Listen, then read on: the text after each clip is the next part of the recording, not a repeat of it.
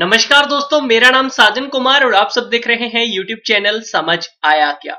दोस्तों, मंजिल को पाना होना तो हमें उसकी राह का पता होना चाहिए। उसी तरह किसी भी एग्ज़ाम को क्लियर करने के लिए अगर हमें एग्ज़ाम पैटर्न पता हो एग्ज़ाम टाइमिंग पता हो एग्ज़ाम में मार्क्स कितने हैं एग्ज़ाम में क्वेश्चन कितने आएँगे, अगर हमें ये पता हो तो हम पहले से तैयारी अच्छे से कर सकते हैं उस पर घर में भी प्रैक्टिस करके एग्ज़ाम पेपर्स को।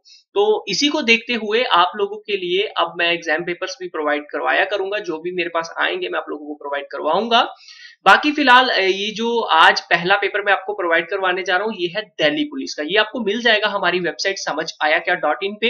इस पे मैं बहुत जल्दी एक पेज भी बनाने जा रहा हूँ जिसपे आपको सारे पेपर्स जो है मैं अपलोड कर दूँगा। और भी पेपर्स हैं मेरे पास इंडियन एयरफोर्स के हैं और एसएससी के भी हैं कुछ तो वो मैं करूँगा अपलोड तो फ़िलहाल पहले मैं आपको ये बता देता हूँ कैसे डाउनलोड करना है।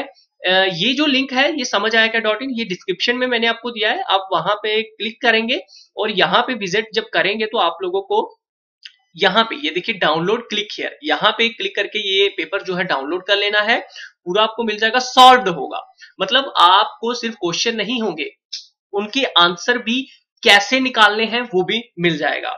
चलिए तो आप फॉर्मेट देखिए, किस तरह से सॉल्व किया है, उसको नोट करके रखिए, और जब एग्ज़ाम आएगा तो क्वेश्चन कुछ उसी तरह से होंगे। तो आप लोग फिर निकाल तो पाएँगे, कम से कम अभी दो महीने हैं, आपके पास सौ क्वेश्चन है। आपको बता दूँ, इसमें जनरल इंटेलिजेंस एंड रीजनिंग के लिए 25 क्वेश्चन 25 मार्क्स न्यूमेरिकल एप्टीट्यूड यानी कि मैथमेटिकल क्वेश्चन होते हैं ये। 25 question 25 marks current affair general awareness जे जी के भी हम इसे कहते हैं, जो जनरल नॉलेज होती है, वही जो अभी चल रही होती है, उसका क्या? ठीक है? तो ये 50 मार्क्स के। इसे भी अगर अच्छे से कवर करें जनरल नॉलेज की आप तो वो भी अच्छा है। और ये सारे क्वेश्चन मल्टीपल चॉइस होंगे आपके। ठीक है? मतलब आपको सिर्फ़ टिक लगाना होता है। तो ये कुछ सिलेबस है जो मैंने आपको बता दिया है। बाकी टोटल मार्क्स इसमें रिटर्न में हंड्रेड होंगे।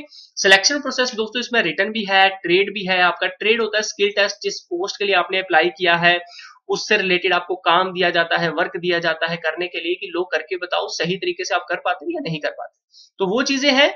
तो चलिए आई होप आपको वीडियो अच्छी लगी होगी, कुछ ना कुछ गाइडेंस ज़रूर मिली होगी। कैसी लगी है कमेंट करके ज़रूर बताइएगा। जिसने अभी तक लाइक एंड शेयर नहीं किया, कर दीजिए यार, हमें भी मोटिवेट हो जाएगा और शेयर करने पे दूसरों की मदद हो जाएगी। बाकी फेसबुक पेज को फॉलो करना बिल्कुल भी मत भूलिएगा। डिस्क्रिप्शन में लिंक है, क्योंकि मैं उसी पे सबसे पहले अपडेट देता हूँ। ओके फ्रेंड्स समझ आया क्या?